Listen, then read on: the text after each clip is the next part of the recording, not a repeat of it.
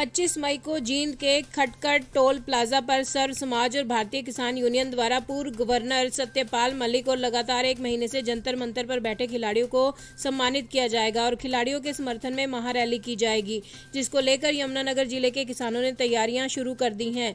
भारतीय किसान यूनियन चड़ूनी के जिलाध्यक्ष संजू गुंदियाना ने पत्रकारों को जानकारी देते हुए बताया कि आज देश में कानून दो प्रकार के हो गए हैं, गरीब और आम आदमी के लिए कानून अलग और सत्ता में बैठे बाहुबलियों के कानून अलग। आज पूरा देश खिलाड़ियों के समर्थन में प्रदर्शन कर रहा है, लेकिन केंद्र सरकार आँख बंद कर बैठी है। 25 मई को धरने पर जो हमारे देश की खिलाड़ी बेटियाँ बैठी हैं, जंतर मंतर पर, उनको सम्मानित करने का पूर्व गवर्नर सतपाल मलिक, उनको सम्मानित करने का प्रोग्राम है 25 मई को खटकर टोल प्लाजा जींद पर।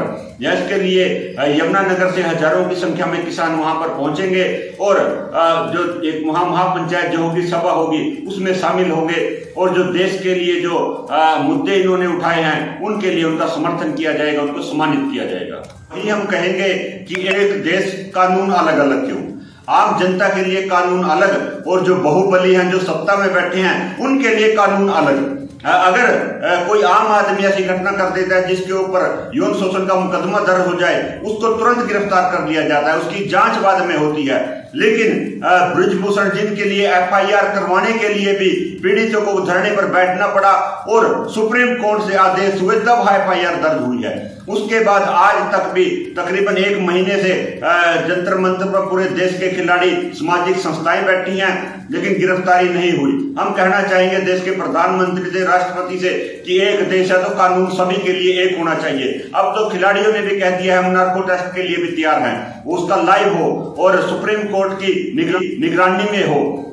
तो आप पता नहीं क्यों सरकार पीछे भाग रही है या ब्रजभूषण को बचाना सरकार चाहती है, जो कहती है कि देश में बेटी बचाओ और बेटी पढ़ाओ का जो नारा दिया था, आज वो कहीं धूमिल होता नज़र आ रहा है। उन्होंने कहा कि 25 मई को जींद के खटकर टोल प्लाजा पर सर समाज और भारतीय किसान यूनियन द्वारा पूर्व गवर्नर सत्यपाल मलिक और लगातार एक महीने से जंतर मंतर पर बैठे खिलाड़ियों को सम्मानित किया जाएगा और खिलाड़ियों के समर्थन में महारैली की जाएगी।